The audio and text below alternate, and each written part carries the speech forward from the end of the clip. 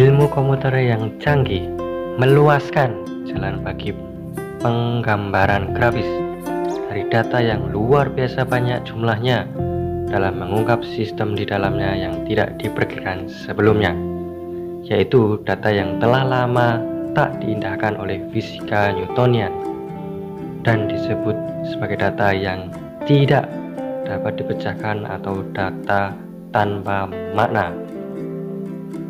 Dengan kecanggihan ilmu komputer, para pelajar teori pada berbagai bidang mendadak sanggup memadukan cara-cara yang saling berhubungan dalam memahami data yang tadinya dianggap tidak saling berhubungan atau non-linear, bercampur baur atau kacau karenanya tak mampu diakses melalui kemungkinan konvensional dari teori logika dan matematika. Analisis dari data yang saling tidak berhubungan ini mengidentifikasi pola energi yang tersembunyi atau disebut penarik di mana hal ini telah didalilkan dalam matematika tingkat lanjut dari persamaan non-linear di belakang fenomena alam yang terlihat terjadi secara acak. Hasil grafis komputer secara jelas menggambarkan desain dari medan penarik ini. Selama proses pengungkapan ini berlangsung, ilmu pengetahuan linier telah bertumbuh dengan amat pesatnya sehingga memisahkan diri dari urusan dengan dasar pokok dari hidup itu sendiri. Bahwa semua proses pada kenyataannya adalah non-linear. Seperti segala sesuatu di alam semesta terhubung dengan hal yang lainnya. Bukanlah menjadi sebuah kejutan bahwa salah satu tujuan utama dari Dr.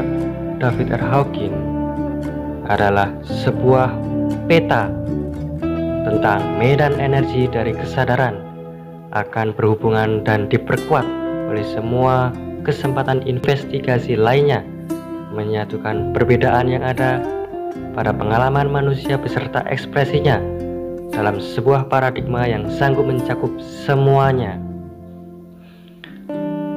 Dengan peta medan energi tersebut menjadi jalan manusia melampaui level-level energi kesadaran rendah yang selengkapnya Anda juga bisa baca di buku Transcending the Level of Consciousness dan buku Dissolving the Ego Realizing the Self karya Dr. David R. Hawkins untuk membantu memperluas pemahaman tentang peta kesadaran dan kehidupan ini serta membantu kita keluar dari kesulitan-kesulitan seperti yang Dr. Hawkins jelaskan dalam buku-bukunya tersebut bahwa kehidupan memberi kita berbagai cobaan kesulitan yang kita alami sebenarnya ada tujuannya Ketika kita sedang dirundung penderitaan dan kesulitan, sulit rasanya melihat makna kesulitan tersebut.